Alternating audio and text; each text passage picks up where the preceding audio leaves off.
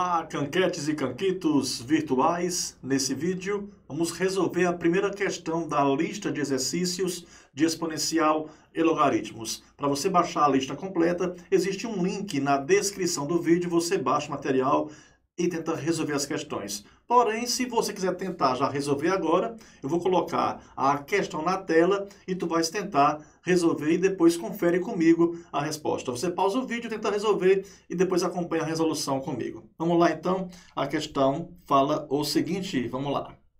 É uma questão bem direta. Fala-se, a soma das raízes da equação 4 elevado a x elevado a 2x menos 1 igual a 64 é igual a... Bom, vamos resolver a equação para poder atender aquilo que ele pediu, tá? Bem, temos aqui 4 elevado a x, isso é elevado a 2x menos 1. Perceba que nessa igualdade, nessa equação, a variável apareceu no expoente, o que me dá, então, uma equação exponencial que nos casos básicos dessa equação, tu vais tentar igualar as bases das potências, para que você possa operar diretamente com os expoentes. É bem possível que você tenha percebido que o 64 é 4 elevado ao cubo. E enquanto isso, antes da igualdade, eu tenho potência de uma potência. Você vai fazer o quê? Vai repetir a base, que é o 4, e vai multiplicar os expoentes. Ficou o que então? Ficou 4 elevado a o x multiplica o 2x e na sequência vai multiplicar o menos 1. Quando eu fizer x vezes 2x, vai aparecer 2x quadrado. Quando eu fizer x vezes menos 1, vai aparecer o quê? Vai aparecer menos x. Eu estou aqui imaginando, nesse primeiro momento, que você percebeu que o 64 é uma potência de base 4. Seria o nosso 4 elevado a 3. Minha canquete, meu canquito. Já que eu tenho aqui uma igualdade de potências e as bases são iguais, quer dizer então que os expoentes são iguais. Então eu posso fazer assim, ó.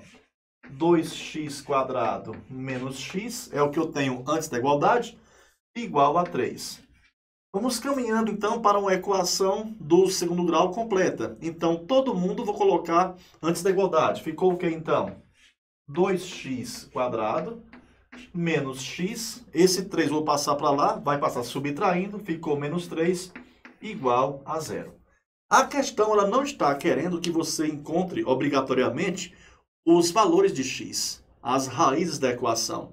Quer que você encontre a soma das raízes dessa equação. Entendam vocês que encontrar o x para essa equação é a mesma coisa que encontrar o x dessa equação aqui. Então, encontrar a soma das raízes dessa equação é a mesma coisa que encontrar a soma das raízes dessa equação.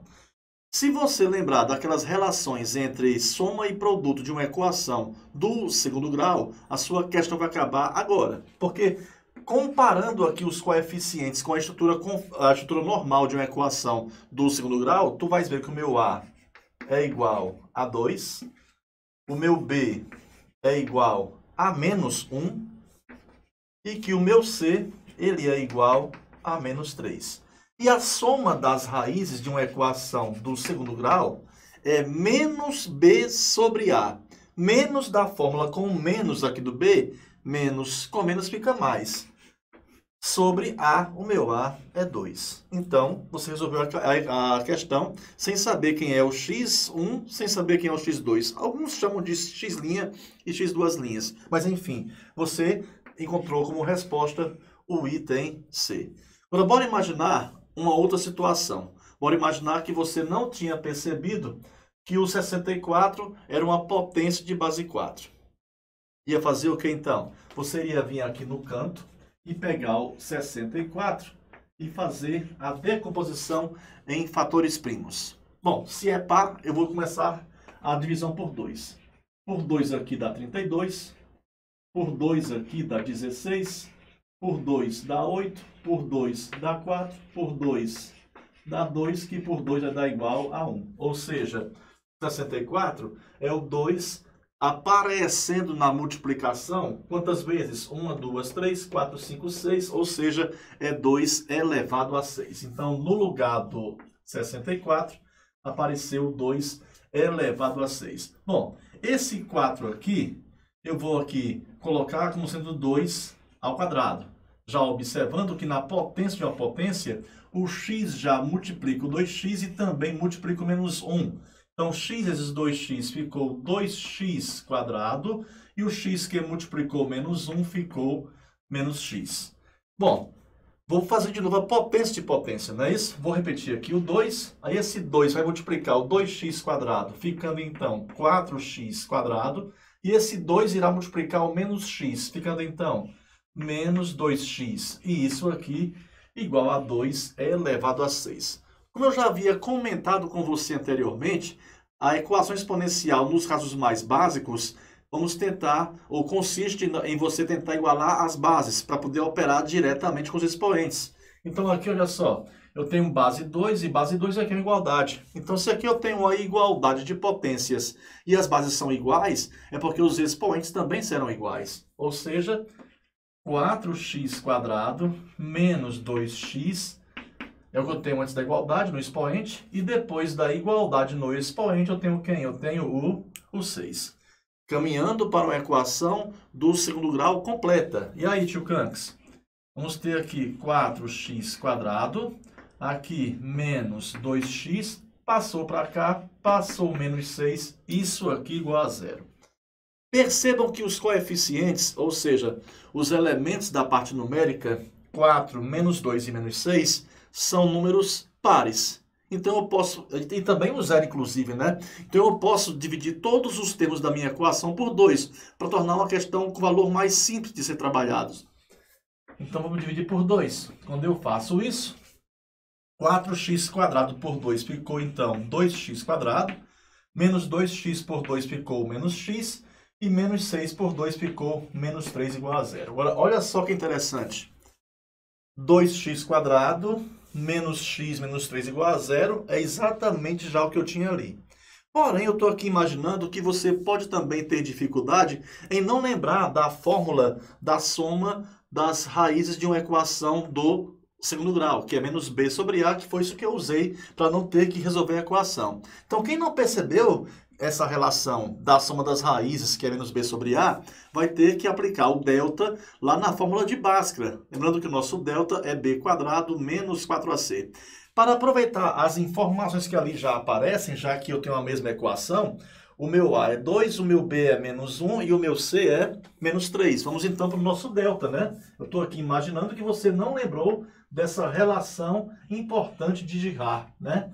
Vamos lá, nosso delta é b quadrado menos 4ac. Qualquer um dos termos que eu falei, se for negativo, você coloca o parêntese. Então, o meu b vale quanto?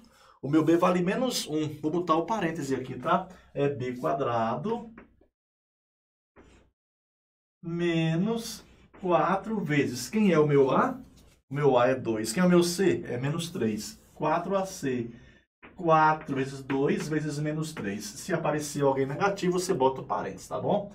Então, delta vai ser igual. Quando o expoente é par, a resposta vai ser positiva. A resposta da potência. Então, menos 1 ao quadrado fica 1. Porque menos 1 que multiplica menos 1 fica 1. Aqui na multiplicação, menos com mais fica menos. Menos com menos fica mais. 4 vezes 2 é 8, vezes 3, 24. E olha só que felicidade. Quando você está resolvendo uma equação do segundo grau, em que o discriminante delta ele tem raiz quadrada exata, isso é muito bom. Então, olha só, deu igual a 25. Para o nosso próximo passo, ir para a fórmula de Bhaskara. Você lembra qual é a fórmula de Bhaskara? A fórmula de Bhaskara é essa aqui, ó. Menos B mais ou menos raiz de delta dividido por duas vezes A. Eu chamo a atenção para essa questão aqui porque você está viciado em pegar equações do segundo grau em que o meu A é igual a 1.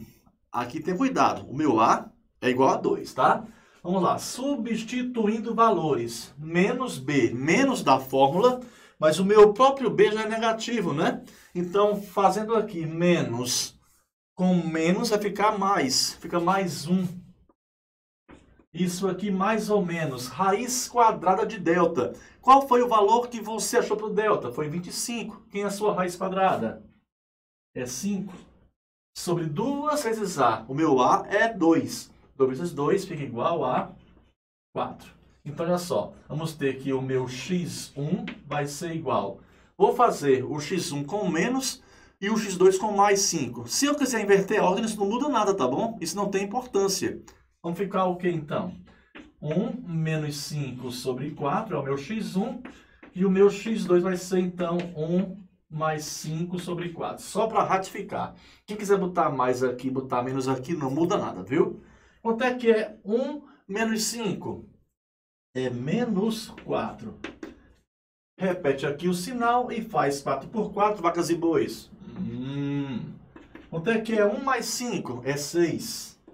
E 6 sobre 4, dá para simplificar? Dá, porque ambos são pares. 6 por 2 dá 3. 4 por 2 dá 2. Mas a questão, ela não quer o, as raízes. Não obrigatoriamente. Ela quer o quê?